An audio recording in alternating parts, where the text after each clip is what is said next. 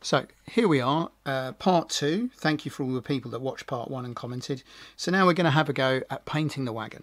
Now I have to say right from the very beginning, we made a, little error, but we wanted to do it to make the video, which is that really all this um, underframe would have been much better painted black before you stuck it together. Um, and another time I would. So I'm going to use here is, this is Tamiya uh, acrylic paint. Also the Humbrol acrylic is very good. This is a matte black so we're going to just paint all this and I'm sure Douglas will probably do a time lapse to make it a little less boring. Now a couple of people have commented about not being very good painters. Um, I, I don't think it really matters with these. You're making them for your own satisfaction. So so long as you're happy with the paint job, that's all that really matters. So it doesn't really matter that we've gone a little bit over there because we're going to come back down and paint all that anyway.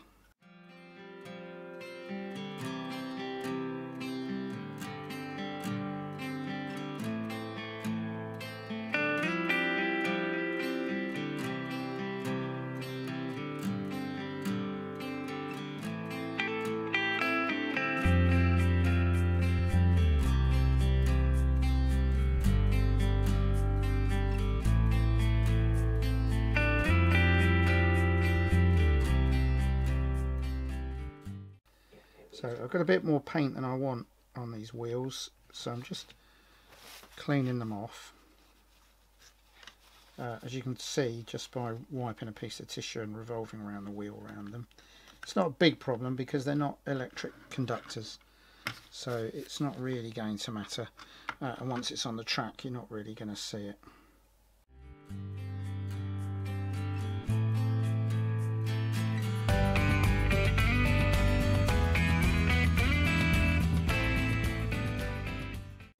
So there we have it. That's all the underframe painted black. Oh, just noticed I missed a tiny bit.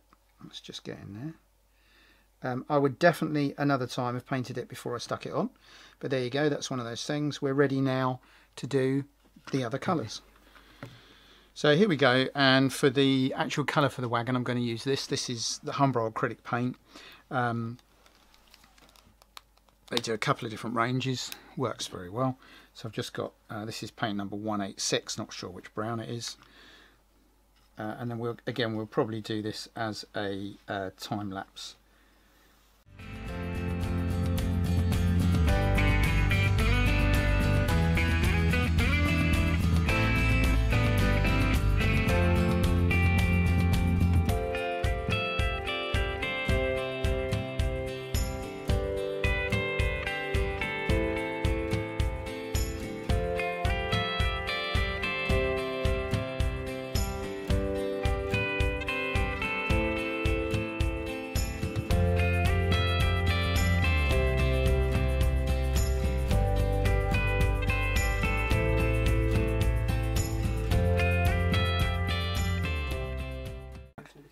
So there we go. That's got the body painted. Quite a nice shade of brown. So that was Humbrol 186. Um, I know some people are going to talk about airbrushes and really good brushes and really good paint and lots of coats and all that sort of thing. But what I was really trying to do here is show what the the, the average new modeler can do with it, not without not necessarily having lots of uh, technique and everything else. Because I know some people say that they can't model or paint or whatever because sometimes the experts give the impression that it's a really difficult thing to do. It's not. I've just got paint and a brush and painted it. Um, doesn't matter if I've gone over the edges a little bit, we can tidy that up. So next we'll do the roof. So here we are. What I've done was I've put um, a second coat on the brown just to give it a nice finish. So now we're going to have a little look at the roof and this may need two coats but we'll see. So this is just um, Humbrol acrylic again. This happens to be 67 which I think is um, dark sea grey. And it does tend to cover quite nicely. It's what I've used in all my other wagons. Um, you'll all have your own views on what, what colour these wagons could be and I'm sure there's probably some official colours but I tend to use what I've got um, kicking around that looks about right. But obviously if you've got a particular one I quite like the the new Hornby ones which are black with white roofs that look very nice. So you could do that. But this is a particularly good paint this one. Uh, the real trick when you're doing any painting is to have a nice brush, a nice soft brush, and that tends to take the brush marks out. There we go. I think we might get away with one coat there. So the little tricky bit then obviously is just to do the edges. Um, this is the sort of thing I used to be very good at, but as my eyesight's got worse over the year and I've had to use glasses, I find it a little bit trickier. So I'm just going to get quiet when I do it.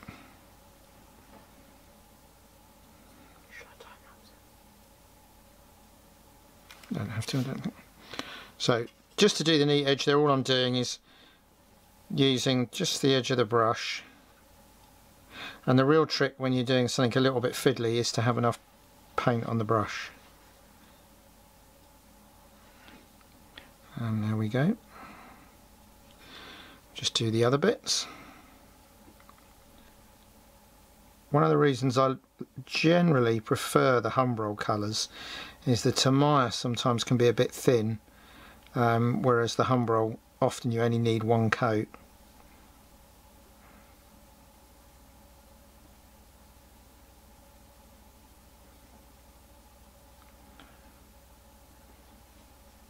There we go. It's all practice. Doesn't really matter if you don't make a good job of it, they're your wagons. Practice makes perfect. Uh, and always remember you can always paint over it and do it again. There we go.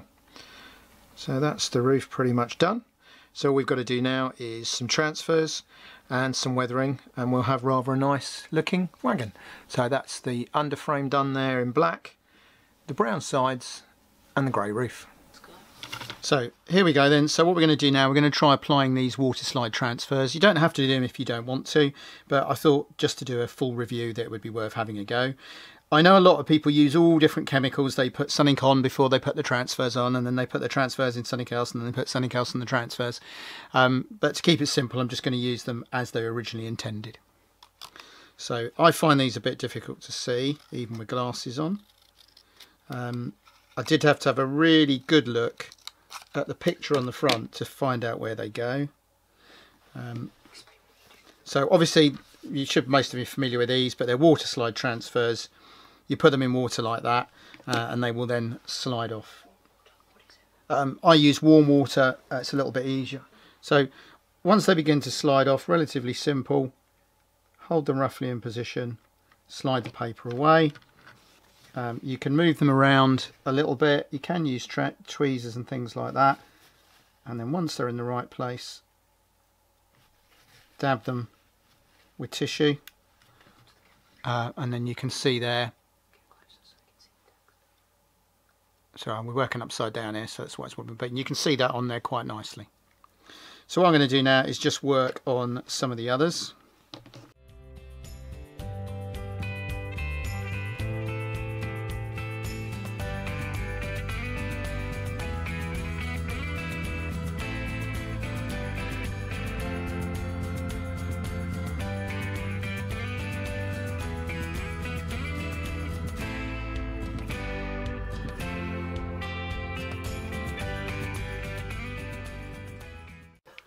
There we go, that's got all the transfers on. Um, so next we're going to do some weathering. You can, if you want, do things like matte varnish over the transfers to stop them shining, but I think by the time I've weathered them, they'll have blended in quite well. Right, so what we're going to do now is we're just going to weather this wagon. You could leave it like that, in which case it looks, I think, almost as good as the ready to run. I'm just going to do a little dry brushing. I'm going to use this colour, uh, which is a, a, light brown emulsion. The, the lighter colour I've used on some of my other wagons I think is a bit light and you need one of these um, which is just a short stiff brush. You put a little bit of paint on the brush and then dab it out. I find tissue is the most absorbent thing. And then have something dark to do that.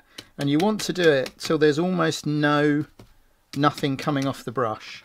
And then you just gently drag it across the detail and that colour's actually working very well. I may redo my other wagons. And what that does, you can just see where it's picked all the detail out there. So we do the same again.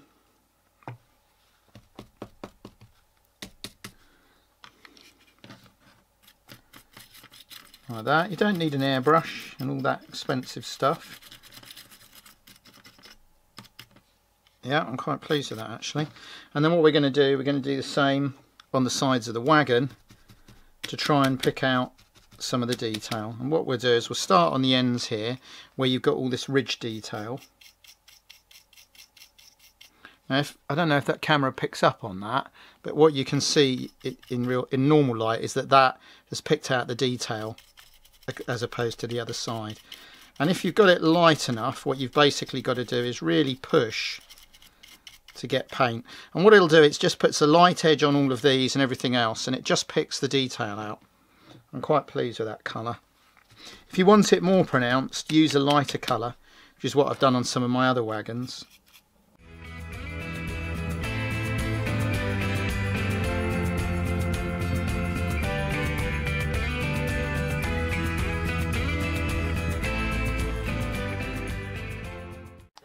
So there we go. Um, you can see particularly on the side there where it's picked out. Uh, I'll just try and get, there we go. It's picked out all the detail. So it picks out all these raised lines and everything else. And what Doug will do in a minute, he'll do some really nice photos that show that. But you can see where it's picked up the line of the roof there um, and on the ends. So I'm actually really pleased with that little wagon. That's £5.50. I've really enjoyed making it. If I wanted four or five, I could quite happily sit there and knock those out. Um, I'm really pleased with the look of those. That's as good as some of the weathered wagons you might buy. With wagons, the cheapest now being £11. And in fact, I checked online and the standard box van like this from Hornby is now £16. £5.50, £6, even if you ended up paying 7 or 8 online, is at least half the price, if not a third of the price. So I think that's a really worthwhile little project. So as always, thank you for watching. Thank you for commenting. Please subscribe and like. Liking is in particular is really important to us. And um, Doug will now do some nice photos of the finished item.